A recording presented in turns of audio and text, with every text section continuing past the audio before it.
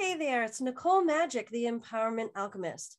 When you think of the word money, how does it make you feel? Does it fill you with excitement of all the opportunities it can provide, or does it fill you with anxiety and keep you up at night? If it doesn't make you feel good, then you probably are suffering from limiting beliefs that support a scarcity mindset.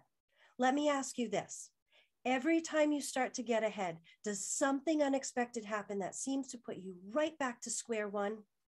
I know that struggle. It's happened to me before and it's happened to my clients, but not anymore. Some other beliefs that my clients used to have maybe ones that you are struggling with now. Maybe you think that you're not capable of having a successful business. Or do you think that if you become successful and make a lot more money, you might lose friends and family.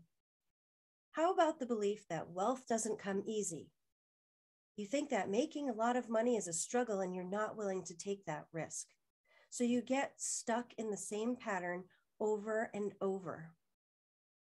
Maybe your business is right on the edge of going to the next level, but you're afraid to increase your prices because you'll lose customers. By keeping your product or your service undervalued, you are projecting a perception of a lack of self worth.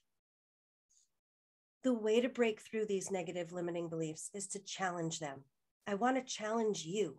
I want to challenge you to take on a prosperous and abundance mindset. Let's ditch the scarcity mode and take on a whole new level of opportunity and prosperity. Let's change the way you view money. Are you up for the challenge?